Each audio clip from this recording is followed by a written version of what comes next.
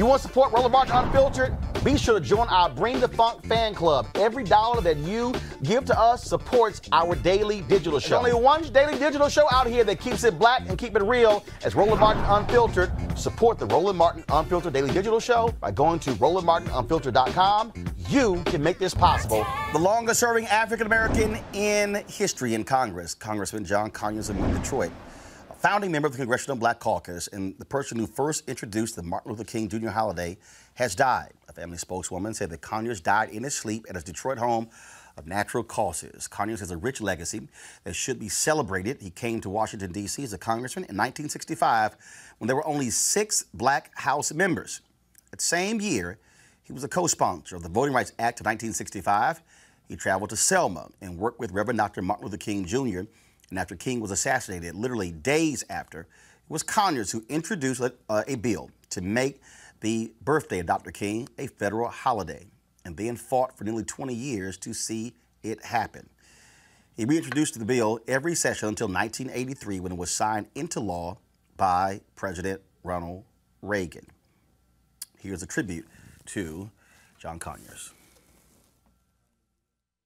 Mr. Speaker, ladies and gentlemen, I'd like to begin by thanking this distinguished committee led by the gentleman from Ohio, Mr. Sawyer, and my dear friend, Mrs. Morella, uh, for helping bring us to this point today.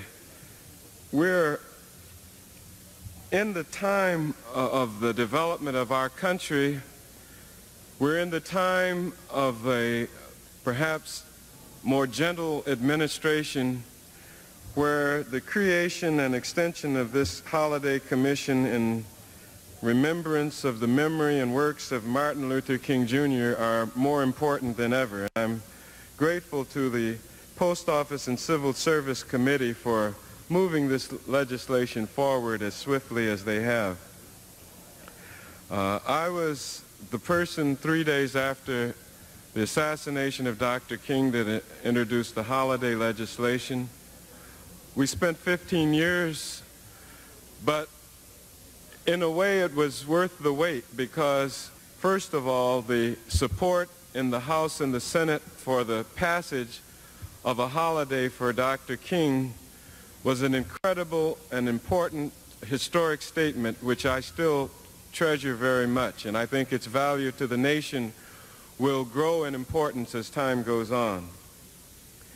During that period of time, though, many of my colleagues were waiting to see if the enthusiasm around the, the, the momentum for a holiday for Dr. King would subside, and instead it kept growing. And in, in a way, that had a lot to do with the decision of both bodies and the, the federal legislature to finally grant what I considered the highest award that that this government can pass upon any of its citizens to, to dedicate a birthday holiday in their memory. As we all know, only one such other person, the founder of this country, has so high an, an honor uh, accorded to him and to his memory.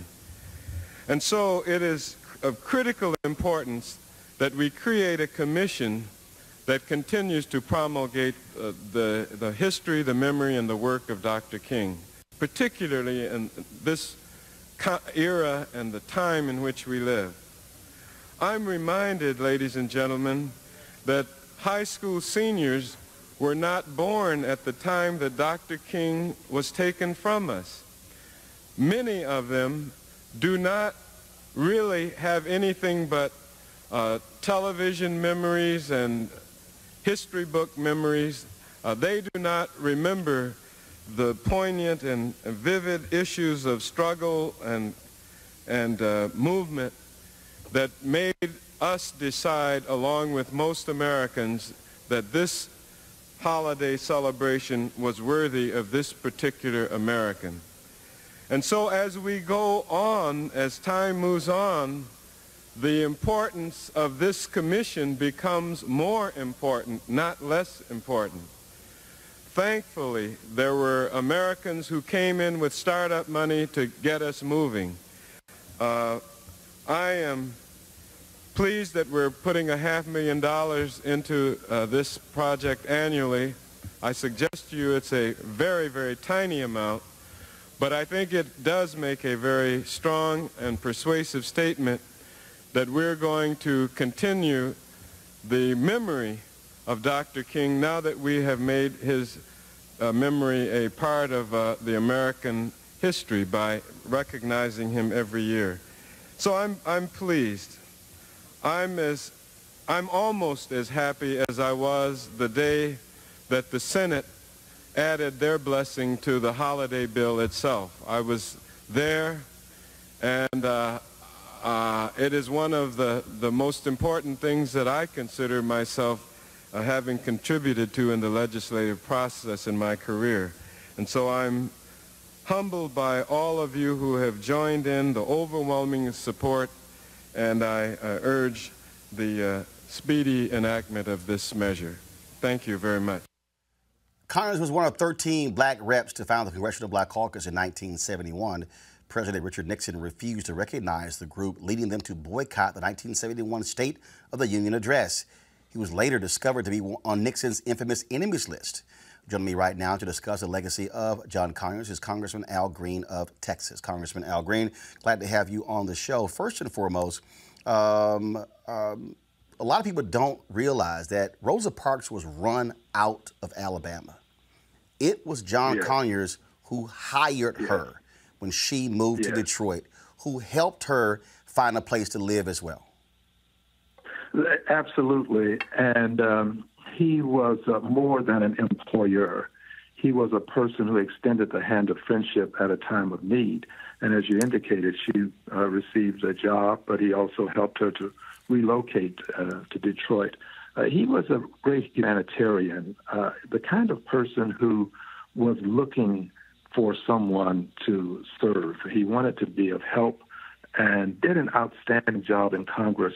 I remember when I met him, I was with Mickey Leland.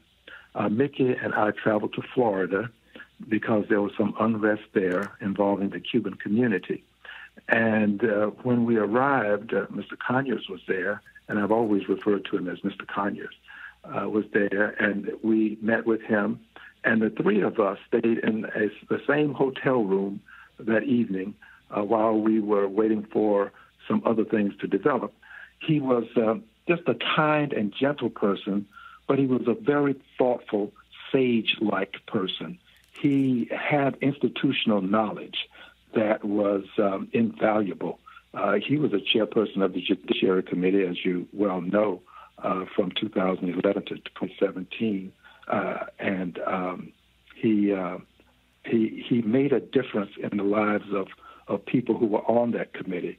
And I, my hope is that he'll be remembered for his work here in Congress, as well as for his humanitarian spirit that he had.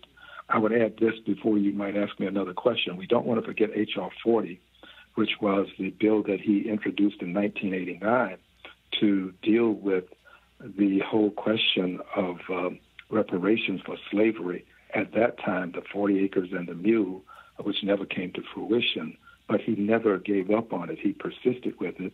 And now uh, Jackson Lee from Texas, Sheila Jackson Lee, has uh, taken up the cause. wonderful person, will be missed, icon, sage, just the kind of person you'd want to live next door to. He was forced to resign because of sexual uh, harassment allegations, and I think it is no no no shock when you look at how folks are using that to define his legacy. Uh, it is very interesting. Uh, I'm going to read in a moment statements, uh, a statement from President uh, Bill Clinton as well as Secretary of State Hillary Clinton. Uh, there's been no statement from Speaker of the House Nancy Pelosi. There's been I have yet to see a statement from President Barack Obama. Um, what do you make again of in many in many ways the silence? I mean, this was the, a man who served 53 years in Congress longest serving African American in history. Do you believe it is fair for folks who want to define Congressman Conyers' tenure based upon why he was forced to resign as opposed to what took place over those 53 years? Uh, let me also add that he was the dean of the House of Representatives. Uh, after the demise of Mr. Dingell, Conyers became the dean. And uh, I indicated uh, incorrectly that he served as chair from 2011 to 2017. He served as chair from 2007 to 2011. He was a ranking member at, on the other occasion. I think that we should not overlook his history and his service. Uh, I think that we should do things such as what we will do tonight. That will be an opportunity for us to go to the floor and make our statements about Mr. Conyers. You said we. Uh, who is we? The, the, CB, the, the CBC? The, the, Congressional Black Caucus. Got I, I think we should do it. I think it's important for us to do this.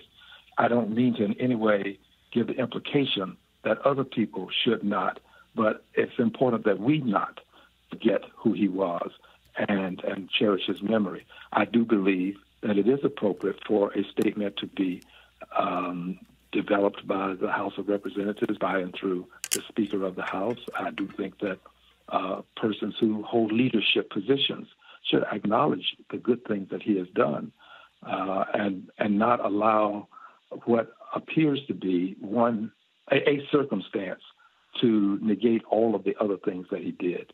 I, I would not support that, and I, that's why I'm on this program because I think that he is a person who lived a, a decent life and ought to be, which ought to be acknowledged. Congressman Al Green, was really appreciated. Thank you so very much. And of course, I got to say this: uh, you, you you on the phone, you can't see me. I got my Houston Astros gear on, so of course, uh, being from Houston, uh, uh one I, more. I'm sure there are people in D.C. not happy to see you today uh, after they lost the last three games to our Astros, but they'll get over it. Well, one more, and we're done. But I must say this to you: this has been quite a comeback. Uh, people will have to acknowledge it's been one of the greatest comebacks ever to see the way the Astros have come out of Houston, having lost two games, and then to win uh, three games in a row. It's fantastic. Well, Houston folks, we don't give up. Congressman no. Al Green, I appreciate it. Thank Thanks you, a lot. brother.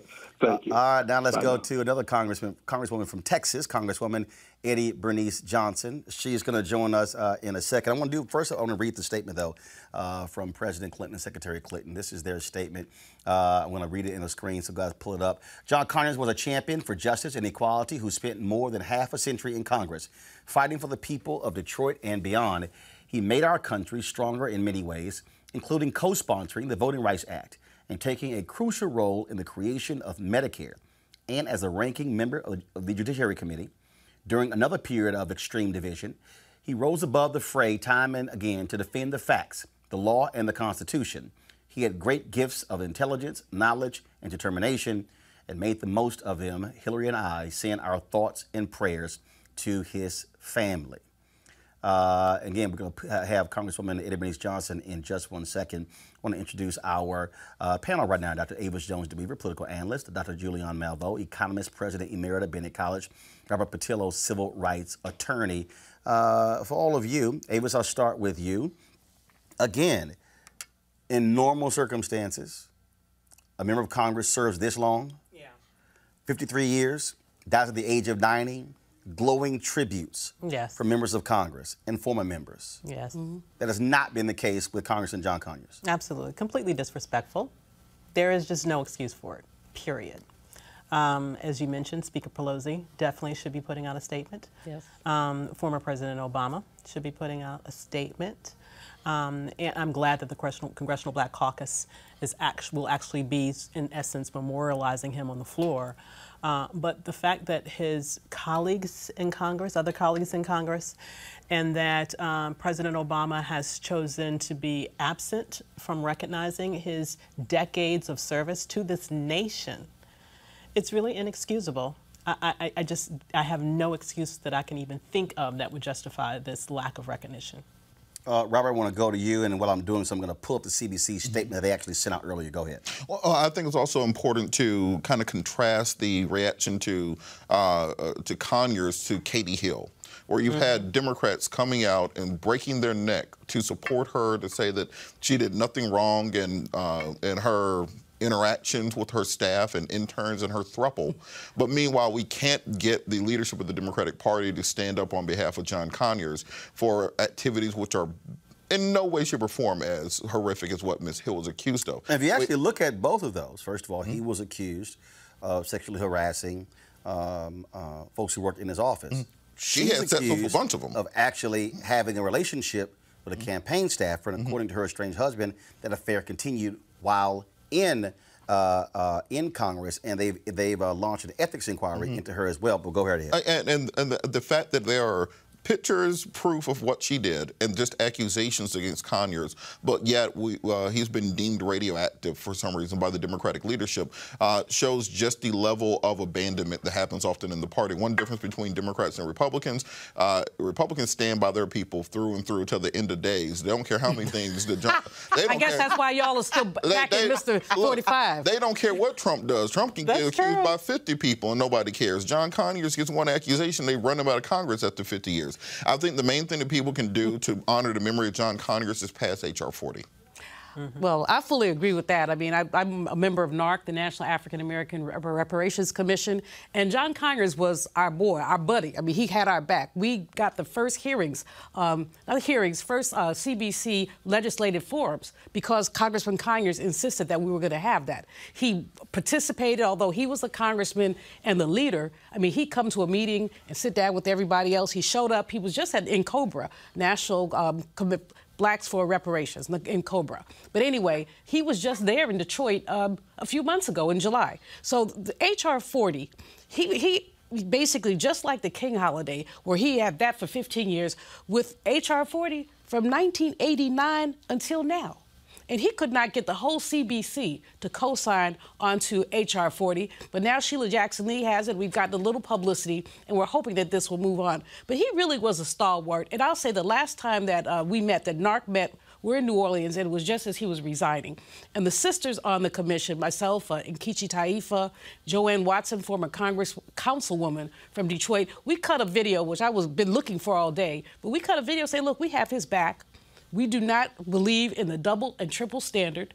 We want to know why people are not looking at some of the things that have happened to black women in terms of rape and incest and all of that. Um, so, but we we've put out a statement. We circulated widely to say we have this man's back, and I still stand with his back. Now, whatever he did at the end of his life, one might also, well, I'm not going to go there, but raise questions about whether or not he was quote in his right mind. But um, because some of the things just seem to be unbelievable. And you know, people get the attitude of piling on once there's one accusation. Everybody else, oh yeah, that happened to me too. Not really.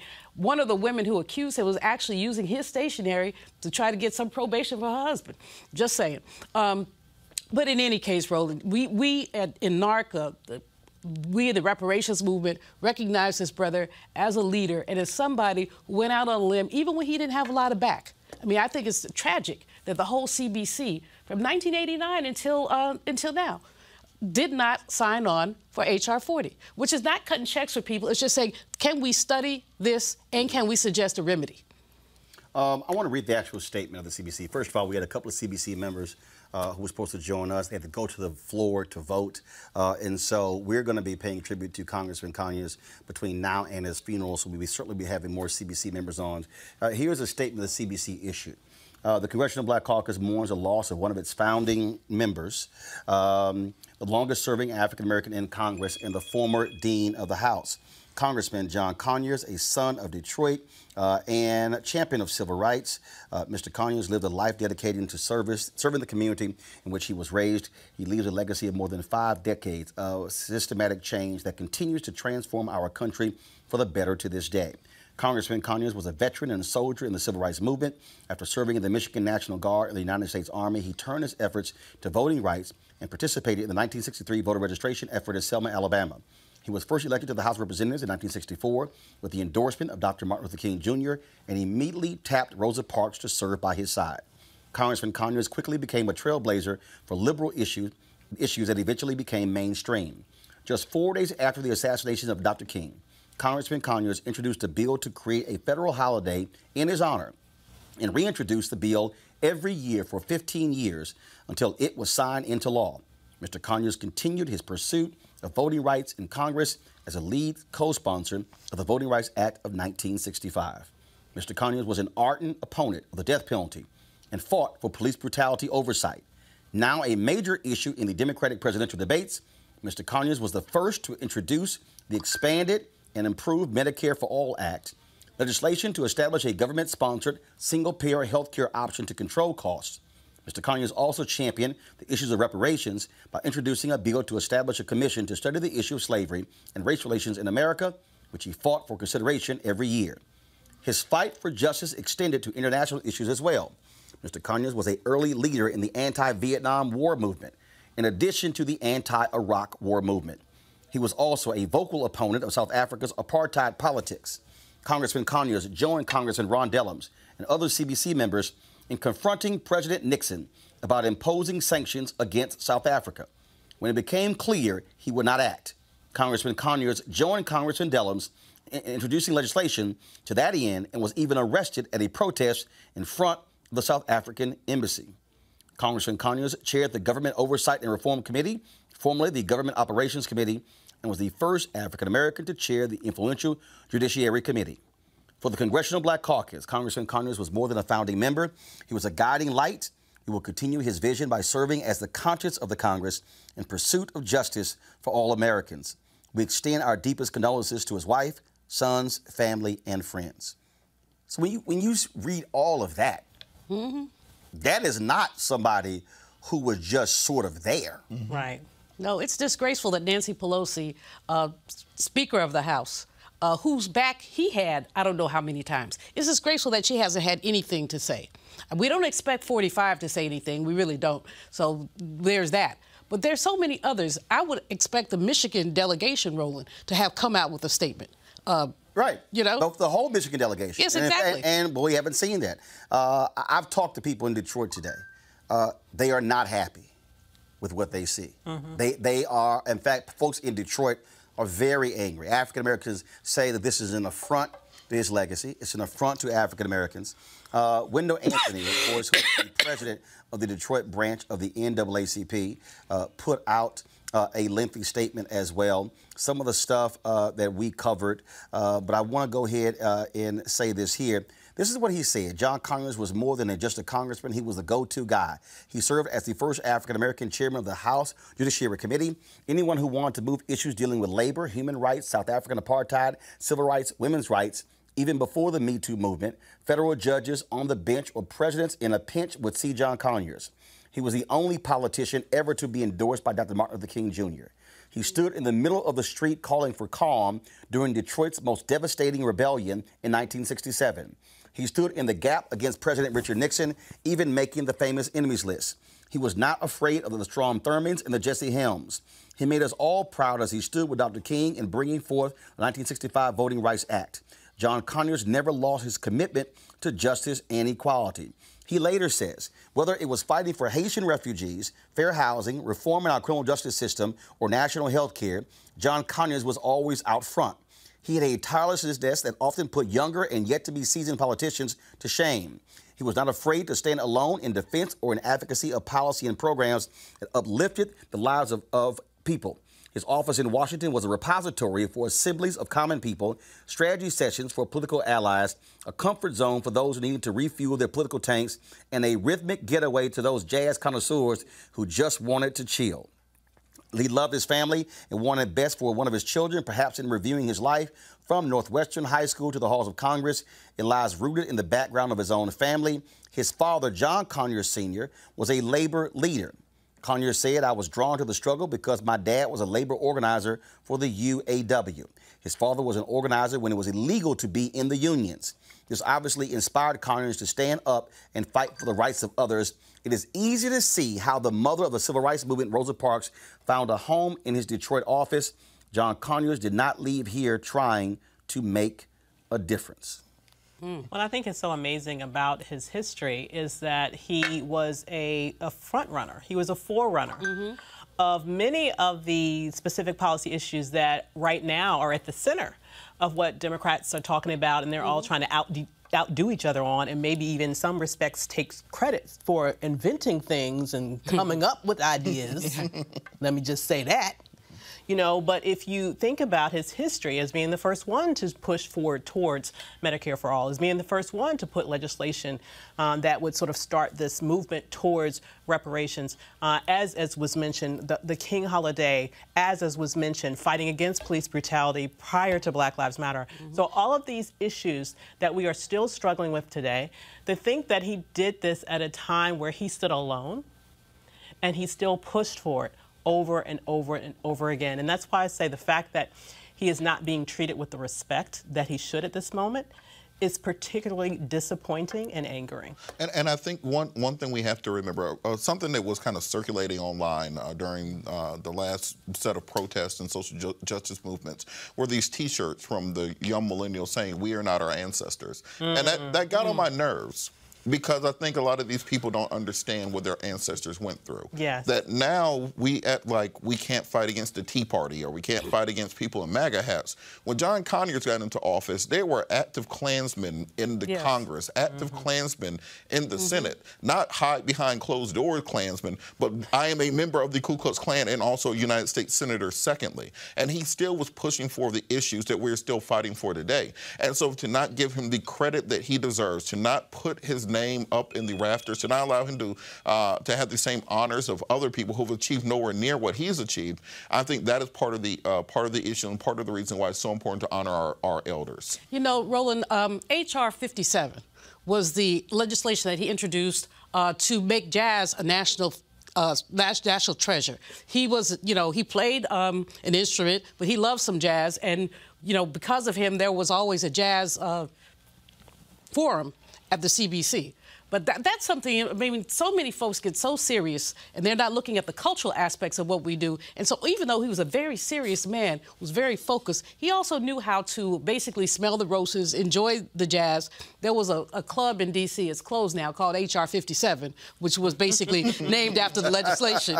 Uh, and they, they, they have not been able to stay open. But it was a really great club. And I always think about him in the context of jazz because sometimes when you heard him speak, mm -hmm. you mm-hmm. could hear the jazz in his voice. You see him moving you know, from one subject to the other, almost like sampling. Mm -hmm. And so, you know, I, I, cherish those memories and cherish the fact that we had the opportunity, many of us, that, not to know him as a legislator, but really as, as a buddy, as a friend, as someone you could break some bread with. Well, I'll tell you what, folks, uh, I always uh, enjoyed uh, messing with Congressman John Conyers. He was a member of Kappa Alpha Psi. Uh, sometimes oh, he would Lord. have his red jacket on, and trust me, every every time we would see each other, it was always an Alpha Kappa battle. But uh, I, it was always great to see him. Uh, I'll be perusing my archives for some photos, be sharing with them later this week.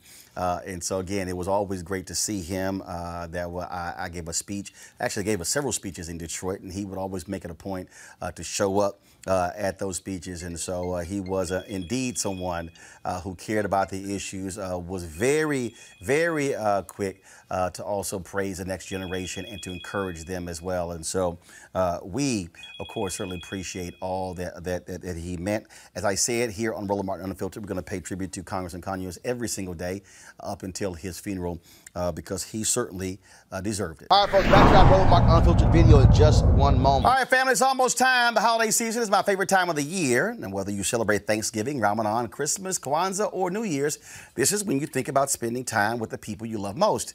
This is also the time to count your blessings and support those less fortunate and look at how you can have an impact on their lives. Well, I have the perfect opportunity for you to be a holiday hero and have a major impact on other families. Now, here's the deal. Right now, hundreds of thousands of Americans are sitting in jail without being convicted of a crime. Why? Because they lack the financial resources to pay their bail.